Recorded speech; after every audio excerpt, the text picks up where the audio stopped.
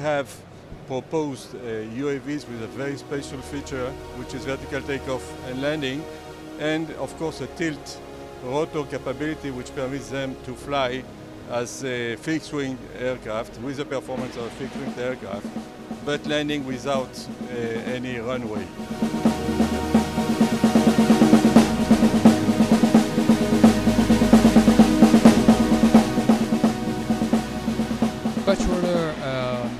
Is a new answer for the coming up and existing requirements for medium altitude uh, UAV.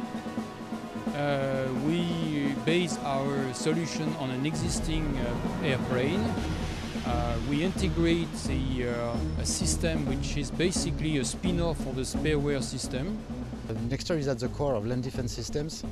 Robotics is a part of land defense systems, so Nexter has to propose solutions to its forces. The robot, which is very simple to use, um, which has been designed um, beginning from um, the soldier point of view. So um, it's user interface. It's not um, a robot only, it's a system integrated in another system.